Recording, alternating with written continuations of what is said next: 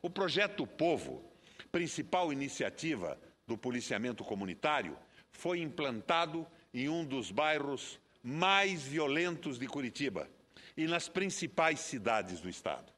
Criamos ainda a Patrulha Escolar Comunitária, atendendo mais de duas mil escolas paranaenses. A Patrulha Rural Comunitária, para dar proteção aos nossos produtores rurais. E o Bombeiro Comunitário, para atender as cidades que não contavam com o corpo de bombeiros da nossa Polícia Militar. A par disso, quase triplicamos o número de conselhos comunitários de segurança, os CONSEGs, abrindo o debate da segurança pública para toda a população. Reestruturação das polícias, policiamento comunitário, repressão ao crime organizado, guerra ao tráfico de drogas, combate à corrupção policial, recomposição salarial, política de promoção e valorização dos policiais. Foi assim que agimos e os resultados, sem a menor sombra de dúvida, foram expressivos.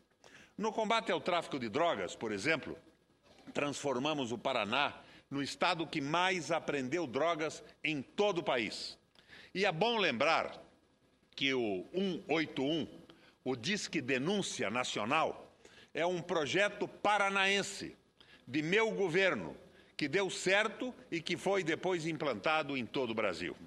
Criei uma unidade especial dedicada a reprimir o tráfico de drogas e outra unidade para combater crimes de fronteira, entre eles o tráfico de armas.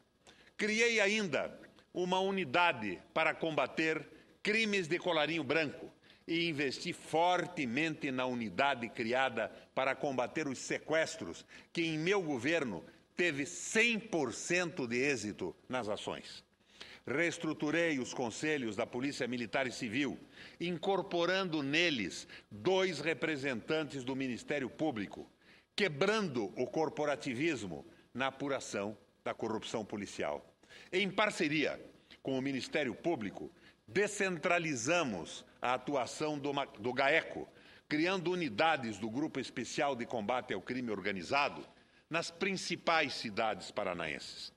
Para dar à segurança pública o máximo possível de eficiência, adotamos o geoprocessamento, construindo o projeto Mapa do Crime, elaborado com base nas ocorrências policiais, identificando os principais pontos de incidência dos crimes.